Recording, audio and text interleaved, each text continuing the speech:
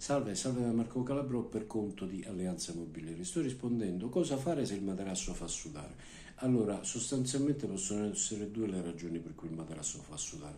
O all'interno avete preso un materasso con del memory normale ed quindi eh, vi sta producendo calore perché il memory normale ha le bollicine chiuse perché viene schiumato in ebollizione e quindi eh, produce calore e accumula umidità oppure avete un materasso sopra con un rivestimento di stretch, cioè, cioè un rivestimento sintetico, che eh, vi sta producendo, vi sta dando come conseguenza questo fastidio.